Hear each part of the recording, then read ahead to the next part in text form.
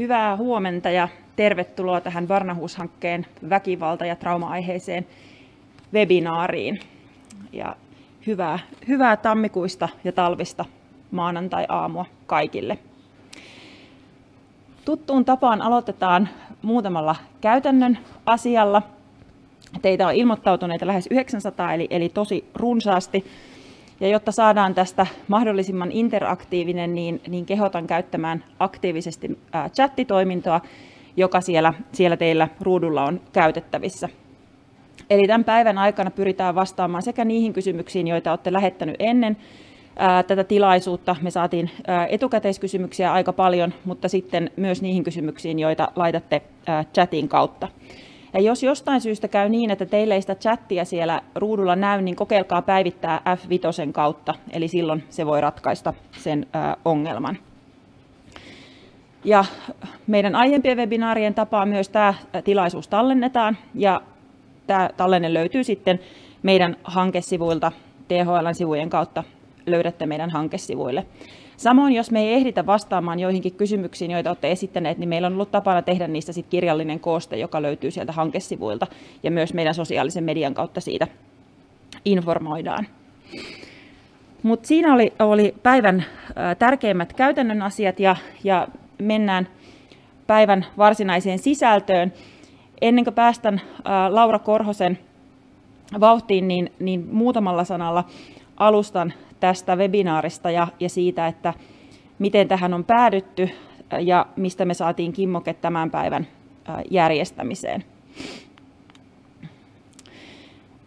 Barnahus-hanke tässä vaiheessa voi olla jo aika monelle tuttu. Me ollaan puolitoista vuotta, vuotta tehty eri, eri tavoin töitä väkivaltaa kohdanneen lapsen palvelujen parantamiseksi tai väkivaltaepäily selvityksen kohteena olevan lapsen palvelujen parantamiseksi. Eli me pohditaan paljon sekä sitä selvitysvaihetta että sitten sen jälkeistä tuen ja hoidon vaihetta, joka tietenkin jokaisella lapsella on ja nuorella on, on yksilöllinen. Ja näiden palvelupolkujen miettimisen tueksi me lähdettiin tuossa jo noin vuosi sitten suunnittelemaan sellaista vähän laajempaa selvitystä siitä, että miten meillä Suomessa tällä hetkellä toteutuu väkivaltaa kokeneen lapsen psykososiaalinen tuki. Ja sen työn tuloksena julkaistiin tällainen raportti, joka on kaikkien luettavissa julkarissa. Maksutta voitte sen sieltä katsoa vaikka tämän webinaarin jälkeen, jos teitä kiinnostaa. Ja, ja siihen me paketoitiin ne havainnot ja löydökset, joita me tämän kirjoitustyön ja selvitystyön aikana tehtiin. Tämä raportti on neljäosainen ja ensimmäisessä osassa me luodaan teoriakatsaus väkivaltaa kokeneen lapsen näyttöön pohjautuvaan hoitoon. Tämän A-osan meille kirjoitti professori Ilona Luoma, Maria Peltolan ja Maria Darthin kanssa yhdessä. Ja se on nähdäkseni varsin kattava katsaus siihen, että mitä, mitä me tiedetään eri hoitojen vaikuttavuudesta ja myös vähän siihen, että mitkä asiat vaikuttaa siihen tuen ja hoidon tarpeeseen kunkin lapsen ja nuoren kohdalla. B-osa koostuu kansallisesta ja alueellisesta palvelupolkujen tarkastelusta sekä kyselyaineiston että haastattelujen valossa. Me lähetettiin 250 lapsi- ja perhepalveluiden ammattilaiselle, mukana oli myös jonkun verran poliiseja, kysely siitä, että minkälaisia esimerkiksi pulmakohtia ja haasteita tällä hetkellä nähdään siinä, että miten näiden lasten ja nuorten tarpeisiin voidaan vastata. Me koostettiin tämä yhteen ja sen lisäksi tehtiin sitten myös 25 tällaista syvähaastattelua, jossa oli erityisesti palvelujen kehittäjiä ja esimies- ja johtoporrasta haastateltavana ja, ja syvennettiin näitä kyselyn ää, teemoja. Ja tässä paitsi tarkastellaan kansallisesti, niin myös sitten ää, alueittain, ERVA- tai YTA-alueittain niitä haasteita ja, ja myös niitä ehkä hyviä asioita, niitä asioita, jotka sujuu. Sitten me liitettiin tähän kolmas osa, C-osa, joka on potentiaalisten seksuaalirikoksen tekijöiden palvelupoluista. Eli tässä tehtiin pieni hyppäys sinne, sinne niin kuin tekijämaailmaan. Me haluttiin tämä osa tähän raporttiin sisällyttää muun muassa sen takia, että nyt parhaillaan tehdään Lanzaroten sopimuksen toimeenpanosuunnitelmaa, jossa, jossa mietitään muun muassa tätä tematiikkaa.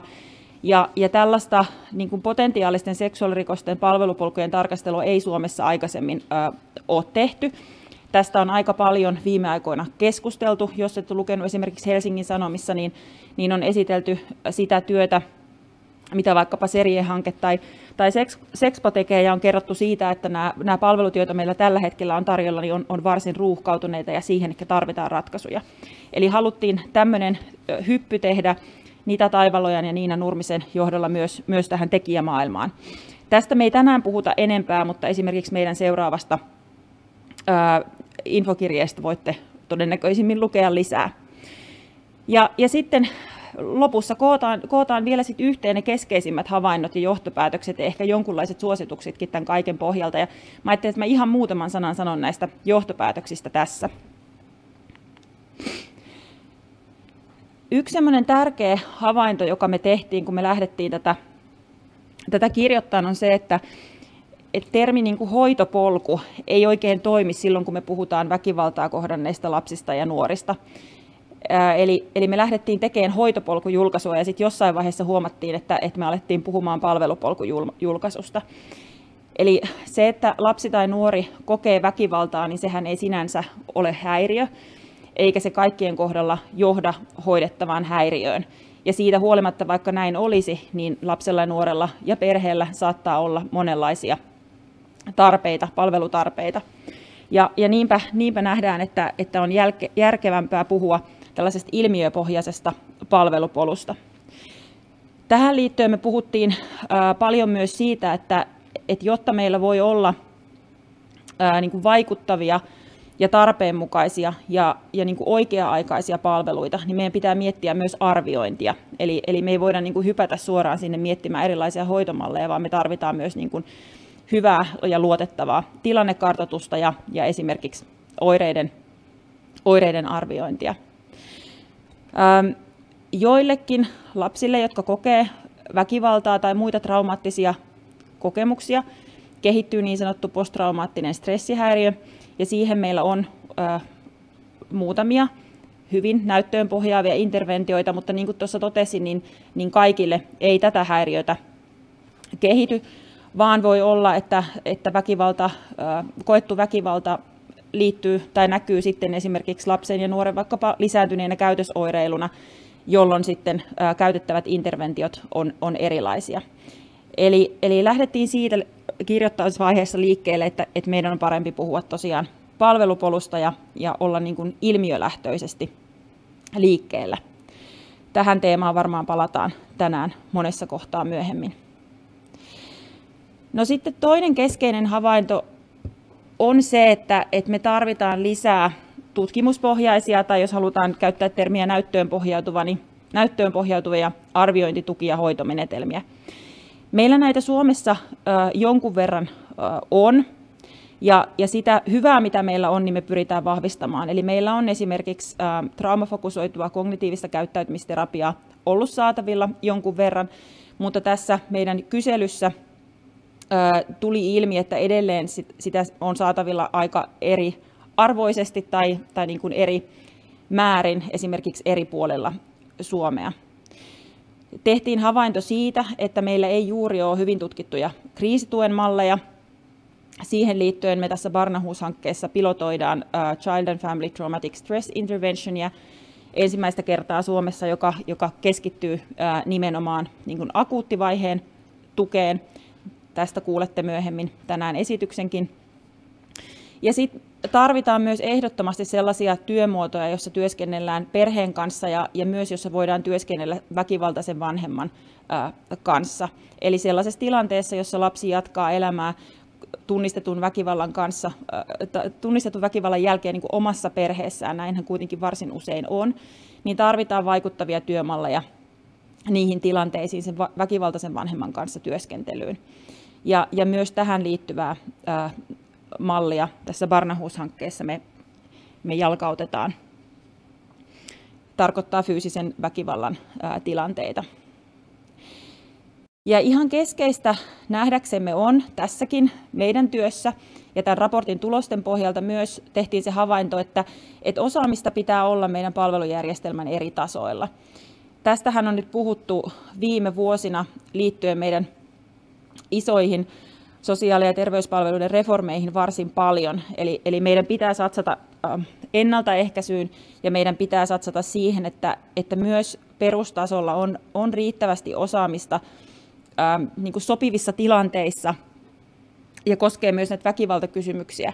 Eli, eli niin, että, että esimerkiksi kaikkia lapsia tai nuoria ei lähetetä vaikkapa erikoissairaanhoidon palveluihin. No ei näin toki nyttenkään ole, mutta että, että selkeästi se tai tilanne on yleisesti ruuhkautunut ja nähdään myös näiden traumaattisia kokemuksia kokeneiden lasten ja nuorten parissa, että, että ehkä vielä enemmän on, on tehtävää siinä, että myös siellä perustasolla voidaan niin kuin sopivissa tilanteissa ottaa koppi lapsen ja perheen tilanteesta ja, ja antaa niitä palveluita siellä, mikä, mikä on tietenkin niin kuin sekä lapsen kannalta että sitten meidän yhteiskunnan kannalta kannattavaa.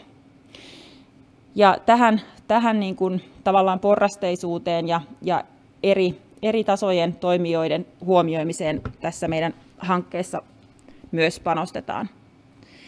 Sitten myös ollaan tunnistettu se, että, että silloin kun meillä on vaikuttavia interventioita käytössä, niin pitää myös panostaa niiden vaikuttavaan juurtumiseen tämäkin on sellainen asia, joka, joka ei ole tullut vain tässä Barnahus-hankkeessa ihan keskeiseksi huomioitavaksi asiaksi, vaan, vaan myös muissa hankkeissa, joita tällä hetkellä on, on meneillään tai koko oikeastaan, kun puhutaan niistä muutoksista, joita lapsia perhepalveluissa tällä hetkellä tehdään. Eli puhutaan paljon aiempaa enemmän implementaatiosta, juurruttamisesta, että me ihan oikeasti saadaan niin kuin asioita vietyä niin kuin pysyvästi, pitkäjänteisesti rakenteisiin, eikä olla vain alkavien ja loppu, loppuvien hankkeiden varassa. Ja tässä meillä tosiaan, niin, kun me näitä hoitomalleja juurrutetaan, pilotoidaan uusia hoitomalleja, niin koko ajan mietitään myös sitä, että millä tavalla me sitä työtä siellä kentällä voidaan tukea. Tavoitteena on muodostaa työkalupakki näiden hoitojen toteuttamisen tueksi ja myös hoitomenetelmien vaikuttavuuden ja esimerkiksi menetelmäuskollisuuden arviointiin. Ja pyritään varmistamaan myös organisaatioiden sitoutuminen aina siihen työhön, jota jollain alueella aloitetaan. Tähänkin palaamme myöhemmin tänään. Ja tässä yhteydessä haluan kiittää Linköpingin yliopistoa ja, Laura Korhosta kollegoineen. Me ollaan saatu todella arvokasta tukea tähän asiaan sieltä. No sitten viimeinen nosto tästä raportista liittyy vaativien erityispalveluiden konsultatiiviseen rooliin ja niin sanottuun OT-kehitykseen, OT-työhön osaamisen ja tuen keskusten kehittämiseen, jota ollaan viime vuosina viety eteenpäin. Ja tässä on kyse siitä, että, että ajatellaan, että kuten aiemmin sanoin, niin meillä pitää olla, olla sitä niin sanottua porrasteisuutta, pitää olla riittävästi palveluita saatavilla myös siellä perustasolla, mutta jotta tämmöinen voi toimia, niin se vaatii sitä, että, että on niin sanottua vertikaalista koordinaatiota, joka tarkoittaa käytännössä ihan sitä, että, että tuetaan perustapalveluita siinä heidän tehtävässään. Ja silloin kun me puhutaan väkivaltaa kokeneista lapsista ja nuorista, niin, niin meillä on pitkälti tämän OT-keskustyön periaatteiden mukaisesti toimivia lasten ja nuorten oikeuspsykiatrian ja oikeuspsykologian yksiköitä jokaisen yliopistosairaalan alueella. Ja on pitkät perinteet siinä, että nämä yksiköt toimii esitutkinnassa ja siinä väkivaltaepäilyn niin selvittämisvaiheessa tämmöisinä todella vaativan erityistason keskuksina, jossa tehdään paitsi asiakasrajapinnassa työtä, niin myös konsultoidaan ja koulutetaan vahvasti. Ja meidän semmoinen ehkä tulevaisuuden näky tämän raportin kirjoittamisen jälkeen on se, että ehkä voidaan miettiä, että myös niin kuin tuen ja hoidon osalta nämä yksiköt vois jatkossa niin kuin vahvistaa omaa osaamistaan ja sitten toimia myös työnohjauksellisessa ja konsultatiivisessa roolissa aiempaa enemmän. Esimerkiksi näiden tiettyjen interventioiden osalta, joista tänäänkin puhutaan siinä oli, oli nostot liittyen tähän raporttiin. Suosittelen kaikkia tutustumaan siihen. Se on aika, aika tosiaan mittavaksi paisui. Eli tässä oli pieni silmäys sisältöön, mutta mennään nyt päivän ohjelmaan. Meillä on intensiivinen ohjelma. Lastenpsykiatrian professori Laura Korhonen aloittaa. Pieni tauko on välissä. Jatketaan hänen kanssaan tuonne kello 11 asti. pidetään sitten lounas. Sen jälkeen on mielenterveyden psykologian dosentti Kirsi Peltonen vuorossa ja, ja sitten kahvitauon jälkeen kuulette esittelyjä näistä hoitomalleista, joita Barnahus-hankkeessa levitetään ja joita äsken tuossa mainitsin.